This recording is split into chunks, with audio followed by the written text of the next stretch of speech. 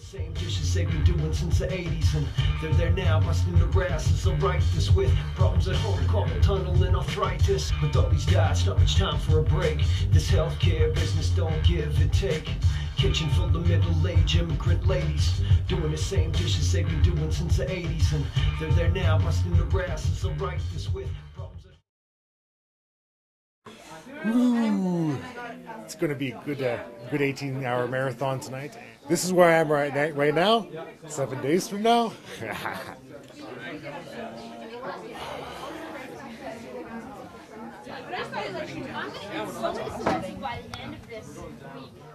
well, I'm Sarah Michelson, radio speaking. Uh, I've been a volunteer for a few years. Then I became the host of Stylus Radio almost three years ago. And my current position is the news director here at CKUW. It's a part-time position. Also a University of Winnipeg student. Uh, my major is English honors. And uh, I enjoy long walks on the beach.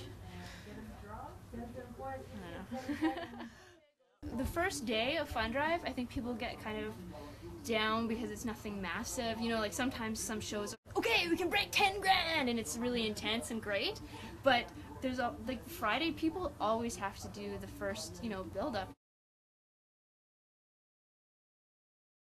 Now I'm eating some um, pasta salad because uh, I gotta build up energy for 2 o'clock, which is in an hour and a half, less, an hour. So that's sort of my game plan for today. What do you got planned for 2 o'clock? Crazy times. I um, have a lot of uh, funk instrumental, intimate, funk instrumentals, which will really, well, they always get me excited. And I know if it's genuine excitement on the host or for the host, then it becomes that for the listener. Because that's what happened to me last year. I got so excited and I started dancing. I don't think I sat down once. And then uh, people just kept calling in because you just you get so excited about campus radio and that kind of music and, and, and programming we have. So um, so yeah, I have a lot of music that I love and I know that listeners love. And then uh, I also wrote uh, the Fun Drive Blues song. Oh my baby, yes my baby, give some money to this here show. If we don't get those calls, we won't have no radio. Woo! Ow! I got the blues so bad, and I'll have them for a while. A hot pledge of two hundred and ten dollars, bringing the total to thousand dollars. Yes! And we got one more hot pledge coming in right Okay. now. Okay, feel that beat? That's the beat of my heart. And it's saying radio, radio, radio, radio. Come on now. See the guy? He's saying, guys, pledge. Come on now. I want to say, oh my god. We got, we're up to a thousand dollars and sixty now. Okay. I don't know if we could go one minute overtime, but do you guys want to try to help me break my record from last year?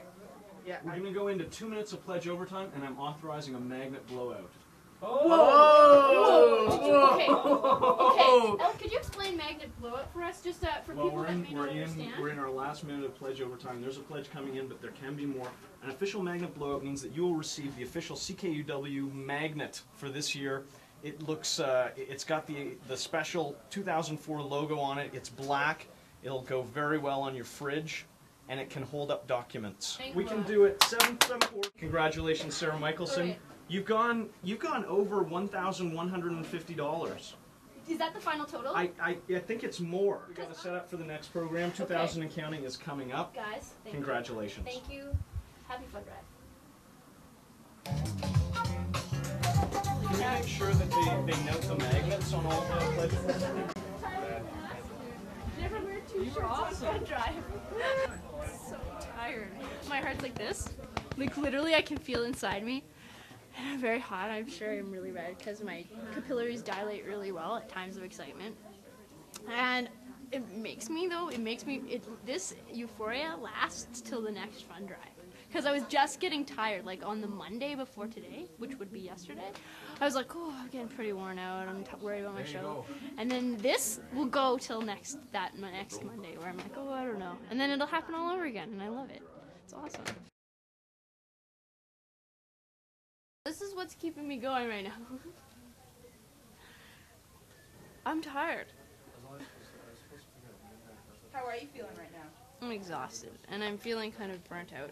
Yesterday was a 13 hour day, which and it was really good, and I feel really good about yesterday. But um, I was here from 7 a.m. till 8 p.m. almost, and I was on air for almost all of that. And we made of I don't know, maybe six or seven thousand dollars yesterday. Well, I was here anyway, so that was really, really a boost for us. But uh, that took it out of me, and I hope I get my energy back for tomorrow at least. Bye.